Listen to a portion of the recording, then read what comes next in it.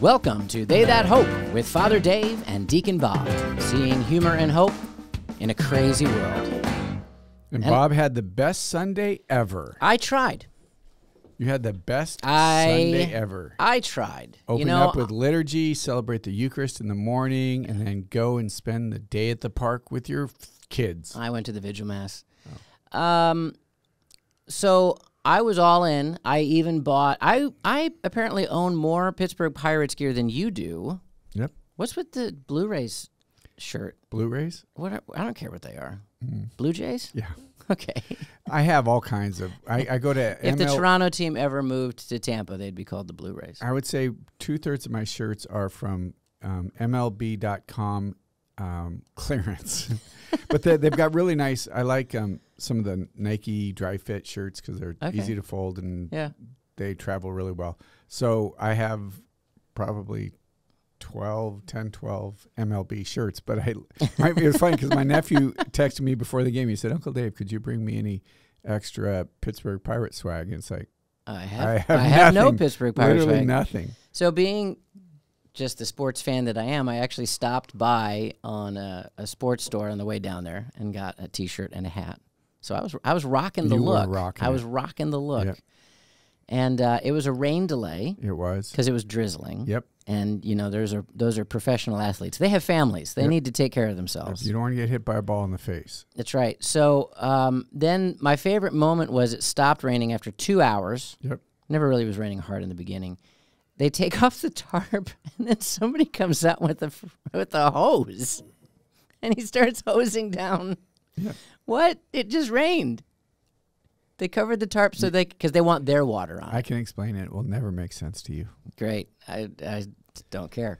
So then the game happened, and that, of course, is always the most unfortunate part about a beautiful day. And uh, the Pirates lost 10 to 1. Yep. But your son had a blast. Oh, I, I- had a great time with him. I it. ended up running into both of your Yeah, children. yeah, that was fun. I went with my One son, of them, Aiden. the older one was a little frustrated that you didn't seem to mention him on the podcast. I didn't. So just a shout out to John and his fiancee Jocelyn. All four of us There you go. Much went better. Much better. to the game. Well, they went separately, so we met them at the game, and we had we had. I thought I got great seats. Yeah, yeah. Yeah, I was like right behind the dugout. I tried my best. I just want to say I tried my best, and uh, the and baseball let me down. Even with the shot clock, I know it's not called a shot clock, but that's what I'm just going to call it. Even with the shot clock, it still went really late because it started two hours You know, it was it was great. So I went with my nephew and a couple of students, and we had a blast. My nephew was so funny on the way home from the game. He goes, "You know, Uncle Dave, it was just really fun." And uh, he said, as soon as I walk into the park, it's like, why don't I do this more? I always love to go to the games. It's, it was fantastic. Yeah. It wasn't a great game though. Although the pitcher for the Blue Jays, he's five and zero. He's Okay. not lost yet. Yeah. So he's he's you know he's having a good year. No, it wasn't a great game, but it was a great day. Well, you know, I actually did have a lot of fun, Uh-huh. and it would have been more fun if I. Well, I, I'm actually jesting. You know, the the ballpark is beautiful. It is. Uh, my it is, son, It is beautiful. my son had an awesome time. Uh, both my sons had awesome times, and uh, And you got his picture taken with the pierogi, he got his was a picture taken with highlight. pierogi. He's- If you're not it's a- familiar, and I'm a sure bar. I'm sure everybody is familiar, so it's not like I'm not telling you something you don't know. But they have the Great Pierogi Race, which Yes. is about six people dressed up in And giant, pierogies. massive pierogies And they just running run. around the Yeah, stadium. yeah. It's a great, it's a great event. You know what would have made it just a little bit better if they would have, if the whole team would have had coordinated dances after strikeouts. And this is like not that. balloon ball, banana ball. whatever. whatever. Let's do a quick update because there are other exciting games Mm-hmm. going on in the world. Uh, just a shout out to NHL fans in the West.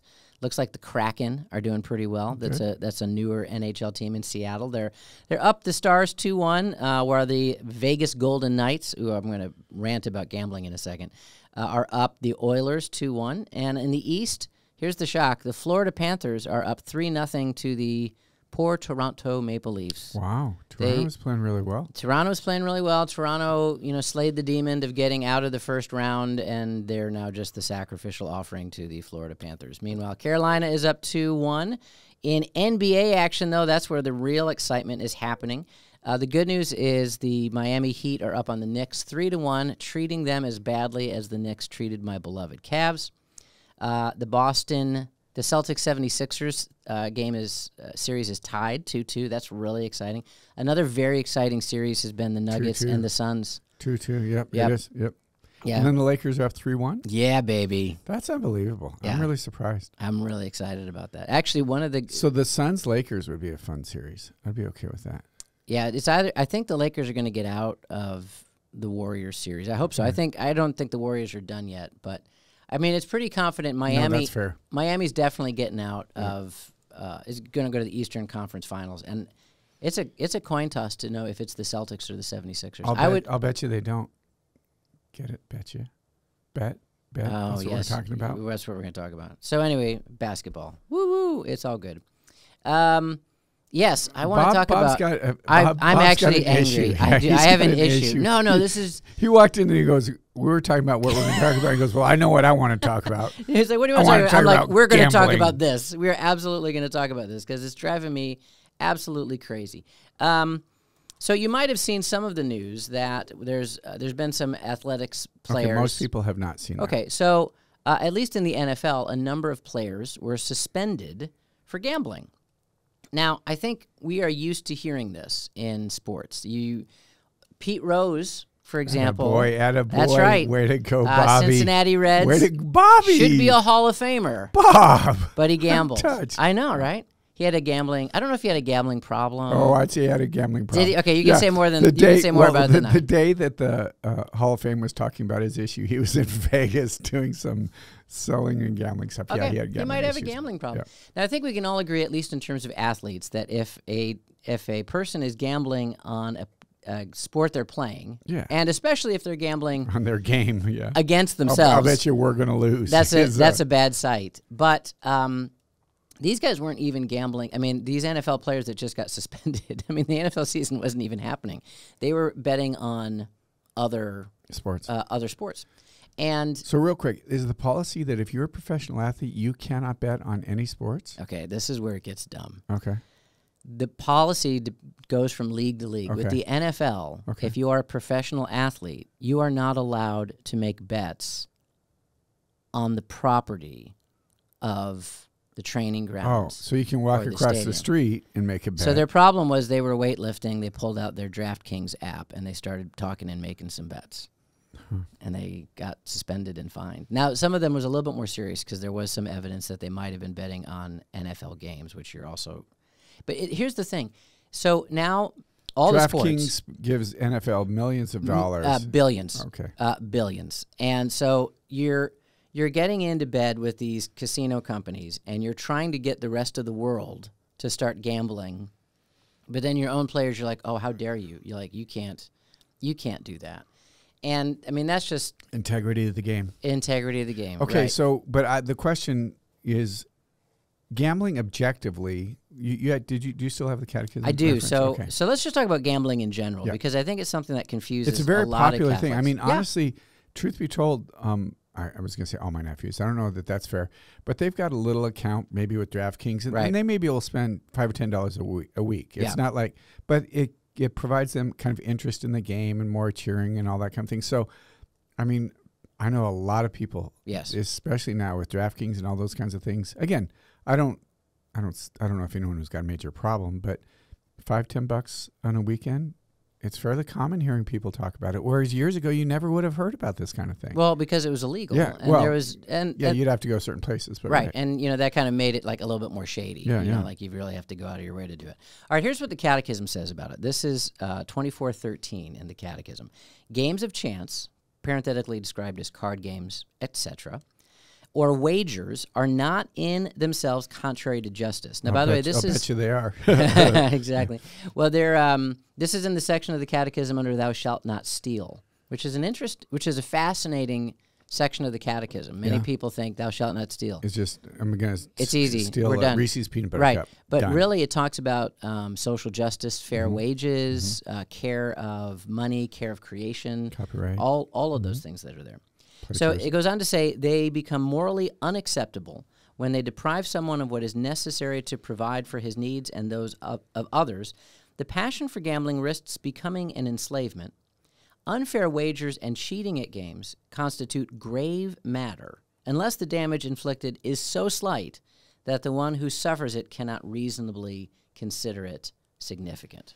So when you and I were playing Uno and, and you might have cheated, that would not be grave matter. It was not grave matter. Okay, great. It was not grave matter. It's interesting because, um, like La- Las Vegas, there's a lot of things at Las Vegas that are just really, really dark. So, some people have this attitude that Las Vegas is inherently e- evil, but then you also get into the whole issue about, you know, s- you're supporting some things that are in organizations like when the mob was running, Yeah. you know, all these things. So, I know that my parents and, and I've been to Vegas over the years. I don't know how many times, and honestly, we've played games. Um, craps is a it's a dice game Mm-hmm. my family and I we've we've had so many times of just laughing and just having a blast with it. But I think part of the problem is is w- what you made reference is if an individual is wh- what was the actual line about? You're actually betting money that that you don't have or that should be going somewhere else to help your family. or Yeah, something it like that. deprives someone of what Yeah, is yeah, necessary to provide for his needs and Right, those of others. Right, right, right. So if, if your responsibility in your family and you're spending five hundred dollars or something like that, and and your kids need that, that that gets where it's messed up. And it even makes reference that the the addictive nature of it. Yes. That, that there's a real danger to become addicted to it because there is something kind of well, you were talking about that. It's built. Many of the slot machines and stuff are built to try to addict Yeah, you. and this is where um, this is where I think it really gets evil. And I, I would probably be a little bit on a different side of it than you, Father Dave, in that I I I feel like the organizations that promote gambling, even there's a level of gambling which is and wagers which I think is okay. I'll bet but- you it's not. Well, it might not be, but I would say it. I bet you. Oh yeah, I see what you did there. Um, but they're not making their money off of the small casual wagers of people that are just having a good time. They're they're making their money off of people that they are hoping to addict to their product. And I think particularly when you look at casinos and slot machines, I was reading a book um, that Michael Gormley uh, recommended to me, which is usually a bad start. It, you know, but this was Gomer. Gomer, um, The World Beyond Your Head. And uh, it was a fascinating book because it talked about addiction and how uh, casinos have hired psychologists. These psychologists, I think, are going to burn in a certain circle of hell because their expertise is on addiction and how to get people addicted to things. And uh, like the slot machines in a lot of gambling places actually have cameras that watch your facial movement. The goal of the the goal of the machine is to get you to think you are just about to win. And because nowadays they have these cards that you slide, you know, you, you don't usually put coins in Right, anymore. right, you know, they're they're so they're tracking you. And actually they're going to make sure you do better every time you play to give you a sense of false mastery over uh, what you're doing, to make you think that there's some level of skill that you are developing. And it just and you're always going to lose. I mean, you look at casinos. Have you ever seen like a rundown casino? They're gorgeous. You know, the house always wins. Where are they making these money Yeah, off yeah, of? no, no, They're no. making it off of people. Now, the more the more relevant thing I think for our listeners though is a lot of these apps that are out there, these app games that have like purchasing inside them. They are created with the exact same technology. My wife got trapped up in this. She started playing this game. It was about pandas. I don't know what it was. To save the pandas, you had to do hit little things and you saved little baby pandas. So she was excited about it. She was playing it. You know, she likes playing games every once in a while, but she was suddenly like playing it all the time. I was like, oh, that's interesting. And then I started getting bills from um, Apple Panda saying like, yeah, right, exactly. You know, you know, one ninety nine, five ninety nine, six ninety nine, twelve ninety nine. Whoa, hey Jen, what's going on here? Just I'm just playing. It's just it's I just enjoy this game. Oh, oh, okay. This is around the time that Gomer pointed me out to this book. So I read it and I was like, oh my gosh, like they created this game to addict my wife into thinking she had some kind of level of mastery, which she didn't. It's just, you know, especially with electronic stuff, it's all fixed. Yeah, like yeah, there's yeah, no, like at least with maybe with craps. Now I know there's ways to weight dice and do stuff like that, but Or card games. Or There is card a level of expertise. there's a level that you There's actually not a huge level of expertise. not a huge slot one. Machine. no, there's no level of it. You're just really just pulling, but it gives you the sensation that you have a level of it. That's part of the addiction of it. And anyway, long story short, I read this chapter, I showed it to her, and then I showed her the bill from Apple, and she was horrified that she had easily spent that much money over a short period of time. But I know others that really, I mean, again, the evil part of it is there's there's people that are like, we're going to addict you to this, and we're going to take your money. Yeah, I'll bet you that's not true. Oh okay, gosh. maybe say the Oh name of the book again because I think you you The. World Beyond Your Head. One of our listeners needs to hear this today. God bless you. Delete the app on your phone, okay? Like it's not a good thing. Oh, I thought we were going to a different place. No, Are you're we absolutely going to get sponsored by yeah, yeah, DraftKings? yeah. Like, Yeah, you're absolutely right on? though. It is it the the whole the whole movement, the whole everything it's about to get you the next one you're going to win. Yes. The next whatever it is, the your apps, the games, gambling, all that. So Well, and as these just say no. as the gambling stuff say. starts out, they're always like five hundred dollars for yeah, the yeah, first. yeah, for free. and I remember my son being like, cash. "Whoa, five hundred dollars!" And I'm like, "Right." So if they feel like they can give you five hundred dollars, guess how much money they think they're going to get from you Yeah. over the next few years. It is. Um, I feel like this it was our largest in, uh, open ever. We've almost been 15 minutes. Well, I, I, I wanted it to be the second section, Okay. but I just want to close with I think it's actually ruining sports, and I'm really worried about it. Hey, summer's right around the corner, and that means it is almost time for the Steubenville Youth Conferences. Woo! Yippee. We have four youth conferences here at Franciscan University, plus many more throughout North America. Your teens will spend a weekend hearing from amazing speakers like me, Yep. And you? Yep. enjoying powerful worship from John Paul, and just having fun with other high schoolers. But most of all, they'll have a powerful encounter with Jesus Christ. There's still time to sign up your teams or youth group. You can register and find out more at steubenvilleconferences.com slash youth. That's steubenvilleconferences.com slash youth. And like- please come. Please come. Did you get a an email? Yes, I got an email. Most I- important email the most important got. email that we've ever gotten, and it. Oh, hey, come back, email. Where are you? It's from a fan, Huge, a huge fan. I like to call her Margie. That's my little nickname for her. but- But other people call her Margie. Or mom is what I call her. Yeah, maybe you almost call all her time. that. Uh, this was very sweet. I'm reading Between the Savior and the Sea, which is a novel I wrote about St. Peter, the life of St. Peter. It's an absolute gift. It brings to mind so much of The Chosen. And then she says, I think Dallas Jenkins dipped into it for content. He's the creator of The Chosen. Uh, I'm not legally allowed to say anything right now. We're in the middle of uh, negotiations, and I'll just have to ask you to respect the silence uh, for me and my family in this difficult time. Just wanted you to know how much I am loving it. Oh, she said, by the way, glad to see you enjoying baseball. Father Dave and I had a, a beautiful picture during the rain Yeah. delay where I was filled with joy. Yeah, filled with joy. Um, yeah, thank you, uh, thank you, Margie. It uh, actually writing that novel uh, was a real profound experience uh, for me, Yeah, I, and I'm so and it's available at Amazon.com. okay. My mother has been talking about this every time we talked for the last several days. Oh, is that I- I'm glad that she's shared this with you. Oh, yeah, so that's so sweet. But, but one of the things I was thinking of is just the process of writing a book. Hmm. So you said it was a moving experience. What was was what was that process for you? Like, did you you obviously went into it? I'm going to write a book, Yes. or was it just yes. okay? Yeah, I went into it. Well, it's interesting. I was really encouraged um, by. Do you know Bert Ghezzi? I do. He's a publisher. He's written many books and just a great dude. So um, I wrote a book for him when I started youth ministry. He was working at our Sunday Visitor uh, called Basic Spiritual Workout.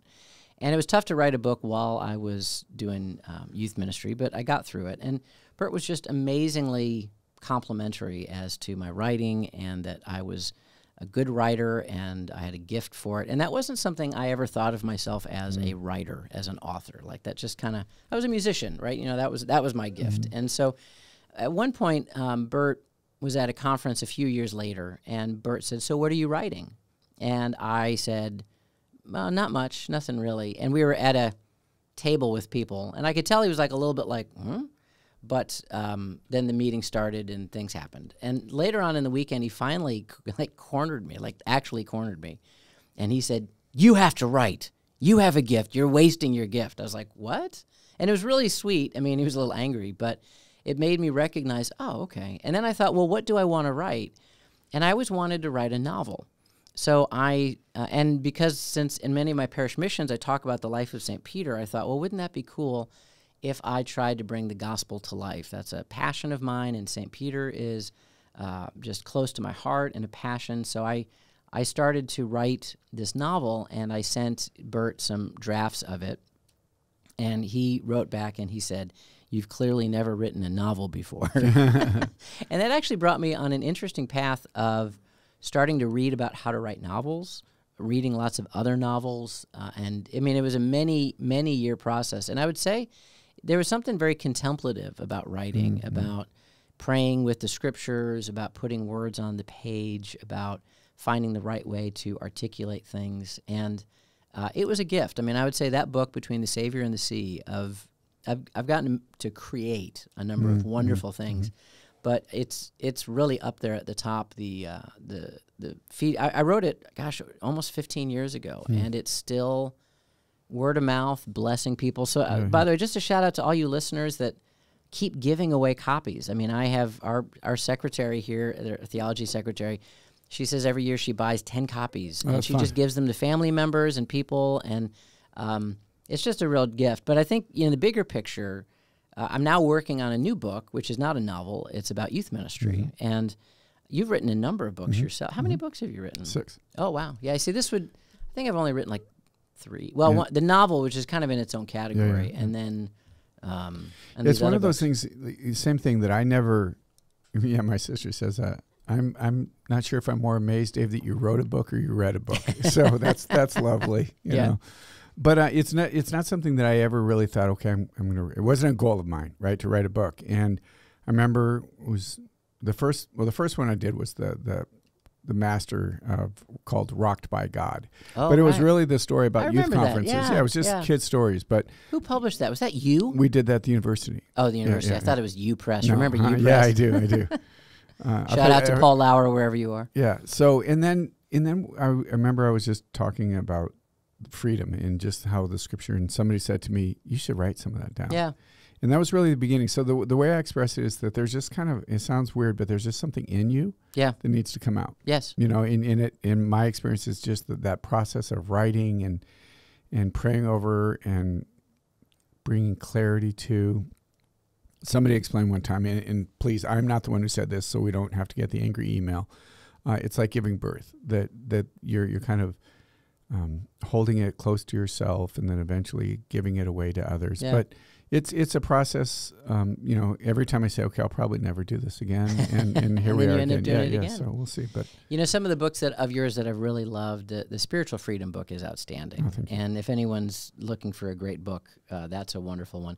Maybe your most popular one is the, your Camino yeah, experience. Yeah, absolutely. And I think there's something about. Um, we, we love to hear stories. We love a witness. Mm-hmm. Uh, you mm-hmm. know, that's mm-hmm. what that's what gravitated me towards. Well, what kind of book do I want to read? I'd I like to read about Saint Peter. You know, I'd, there's some you know like a how-to book.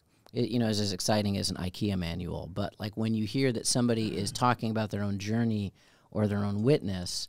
Well, Saint uh, Saint Paul VI said this. He said that modern man listens more willingly to witnesses than to teachers, and mm-hmm. to teachers only, only if, they're if they're witnesses. Mm-hmm. And so I think a lot of the books that uh, really rivet people. I, I think of uh, that incredible book by uh, Immaculée. I don't remember the name of it, yeah. but it was it was her experience in Rwanda. Yes, yes, Oh my goodness! Can I just say for the record, um, who is now on our board of trustees? Is she? Isn't really? that fantastic? Yeah, that is absolutely fantastic. Yeah, yeah, we asked her in in just a couple of weeks ago, and she was so thrilled. And oh, that's yeah, amazing. If you don't know her story, you're right.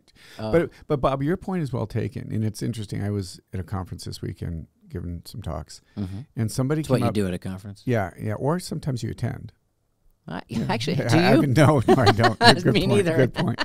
Um, Last conference I attended was a Star Wars. Good conference. point. Um, well, somebody said, "I love your stories," and, mm-hmm. and I said, "Well, what is what is the things you remember most, or stories, right? right? What does Jesus did? One time there was two men. There were. I mean, Jesus told yes. stories. You tell stories. Good preaching, good writing. That's not to say. Well, actually, there is something. There's a difference between teaching and preaching. Yeah. And preaching is often there has to be this connection to the person and the story and the experience.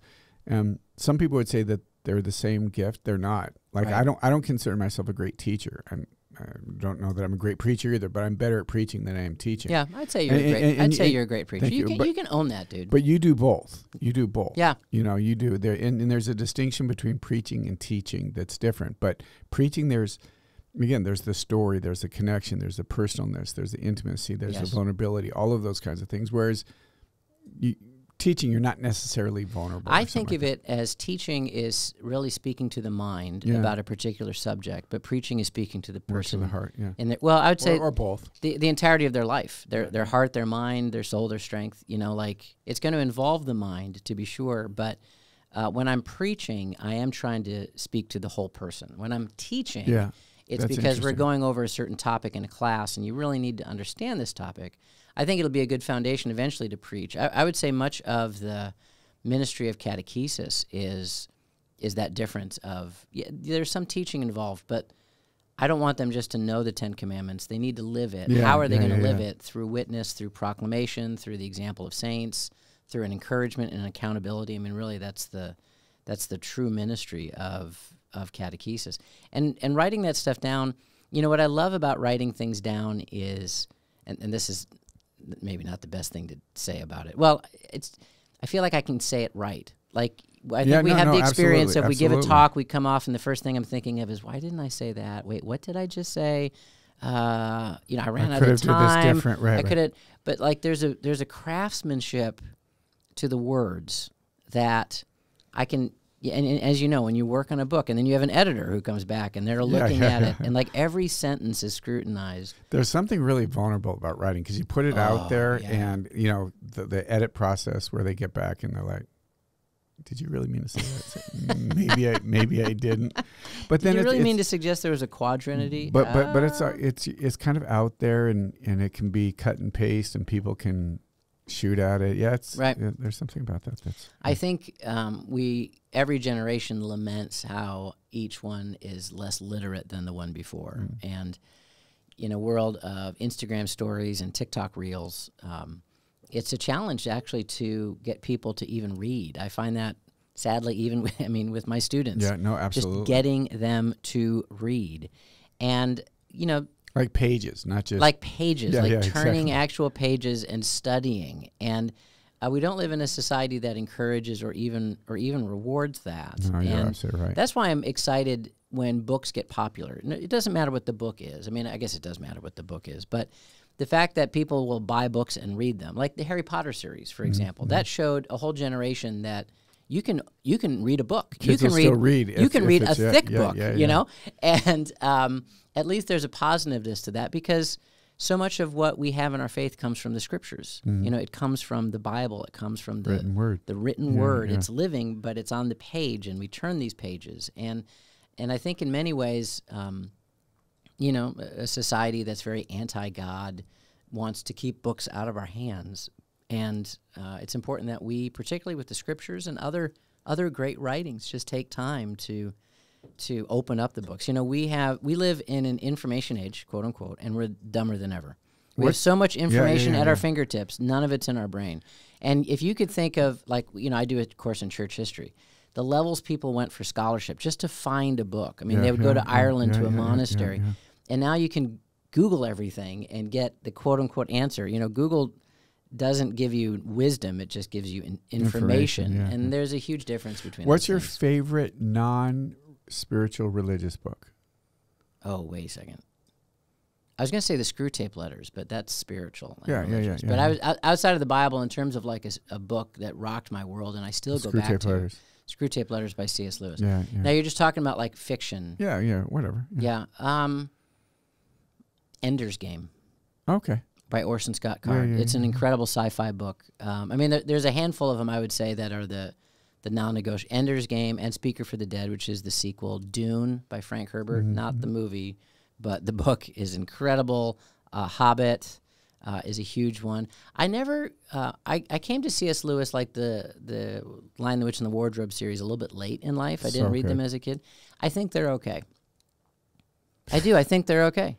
I love the imagery of them. They're gorgeous. They're beautiful, and Yeah. anathema to anyone who says anything. Wow. Yeah. Wow. No, I think they're okay. They're they're a bit too much on the nose for me. You know exactly Whatever. the biblical imagery that's going on. They're beautiful, and they've got beautiful things. in them. Hey, wait a second. I started with the C.S. Lewis book at the top of my list, so I, I don't feel like he's upset with me. Clive Staples He is giving be. me a thumbs up from heaven right now as we be. speak. He might be. Yeah. Okay. Um.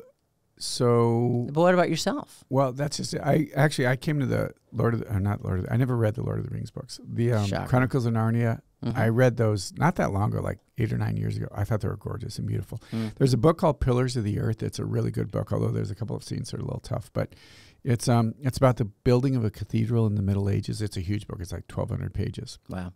But just the relationship between the church. I mean, families, generation after generation after generation, give themselves to the building of this cathedral. It's just really an interesting, fascinating And your read. families and, And your with a children thousand and your generations. So. But yeah, it's great. It's yeah, it's uh, yeah. I don't even know what like what would be that one book. I mean, obviously the scripture. If I was on Yeah. an island, I don't know. I would say the I don't read books twice. I think you do. Uh, y- some I will, but generally not. Okay, I'll okay. watch movies a few times. yeah, yeah, but I won't. I would say the generally read a Harry Potter twice. series Yeah. was incredible. I actually watched, I read all of them in the course of 10 days um, because I came back from Haiti. I had a parasite and I was in the bathroom a lot. And I just, for 10 days, I just. Okay, read. we we You didn't need the we didn't visual, need but it was no. pow- it was No, actually it's, it's an amazing it's amazing scope that. of literature. we did not need Uh, that. what about like um, religious books that aren't the Bible that you were really inspired by? Well, one that I've I've spoken of time and time again is uh, Henry Nouwen's Return of the Prodigal Son, Mm. which is just a really really beautiful book. Uh, I mean, so, some of the classics. You know, I I remember. Abandonment to Divine Providence. Yeah, That's a fantastic book. Caussade. Is that- Jean-Claude uh, Van Damme. uh, Yeah, Yeah. exactly. I mean, I remember I read uh, Augustine's Confessions as a novice. That was really powerful. Um, yeah, uh, yeah. Have you read Quo Vadis? No. It's cool. It's a it's a fiction yeah, book, yeah, but yeah, it's like yeah. set in the time period. It's really cool. Yeah. Have you read Between the Savior and the Sea? Um, I'm waiting for the movie. Well, it's already on. Apparently, it's out there. It's, It's, called already out there, but again, I'm not legally allowed to talk Okay, so we have to go quick to our third section. Fatima's coming up. Yeah, tell me about Fatima. I've never been. Love Fatima. So I've been. Uh, it's funny. Fatima is probably my favorite place as far as the Marian apparitions. Really? And it's funny because I tell people that, and they go to Fatima. It's like, oh, it's not as nice as I thought it was going to be. It's not as beautiful as as Lourdes. Um, it's different than Guadalupe. I mean, all I've been to. And we're saying this because Our Lady of Fatima is this Saturday. right, right. I, I've been Or to something like most of the Marian pilgrimages. You know, significant marriage Marian pilgrimage sites, and and I say Fatima. First off, um, I I never remember the years, 1917 or 18 or something like that. Those I just don't remember that kind of thing because I can just Google it and find it out. Right, Right, exactly, Right, yeah, yeah. I don't have to remember anything. But um, Our Lady appeared to three kids, Jacinta, Francesco, and Lucia, and that's one of the things I love about the story is the children and they're part of the story. And then she's inviting us to pray against uh, this Russia. When and at the time in 1917, it's like who's Russia? And as it turns out, obviously, it comes out to be significant. Um, but the thing I love about um, Fatima, and it's the part that you can't explain, is that I had an encounter with Our Lady at Fatima that was Hmm. different than any place else. So when I tell people, "Oh, Fatima's my favorite," they, they'll go there and it's beautiful and the story's beautiful, but it's not necessarily the most beautiful place. Or, Yes. But there was just the presence of Is Our it Lady just a field? Like Yeah. What, what's there today? If you if Oh, I went just- to if I went to yeah, Fatima, yeah. what would I see? um, a massive, massive courtyard uh, with. They've just built a new church. The church where the apparition was, the church where the kids are buried, uh, in this, and they do a procession. So it's very, yeah, it's in the middle of a little town. It's not beautiful. Yeah. I don't know. You wouldn't see it. It's not like Lourdes with a beautiful stream and these Right. fields and mountains. Or It's- like or, a, or, or like know. Medjugorje or Guadalupe. It's very. Right. It's kind. Are but there gift shops? yes, of course there are. But it's not as much as Lourdes. Like I call that Mary World, right? Um, but yeah, and, and- Mary and she's saying, you know, pray for peace. Um, she said that, yeah, it's just it's a beautiful, beautiful image. And the thing I love about it is again the children. One of the they're they're having this image or this apparition. They're speaking to Mary and they're talking about, am I going to go to heaven? Am I going to go to heaven? And little Francisco was maybe eight or nine, ten years old. I don't know. I don't remember what he was. And they said, is Francesco going to go to heaven? And Mary says, Francesco needs to pray a lot of rosaries because they were just praying. They were doing their rosaries instead of doing all the prayers. They were just saying Hail Mary, Hail Mary, Hail what a, Mary. what instead a of mother. actually That's, saying, the, that's yeah, the thing yeah, a mother would exactly, say. exactly. Yeah, you need to pray. I'm not gonna I'm not gonna guarantee anything. You yeah. need to So it's a more. it's just a it's a beautiful message, and yeah, again, there there's something unique about all of the Marian pilgrimage sites. But on a personal level, just the encounter I had with Our Lady at that will always make it unique for me. oh, that's beautiful. yeah, yeah. That's have you been at absolutely what pilgrimage sites Oh, or Marian gosh. pilgrimage sites have you been to? Hmm.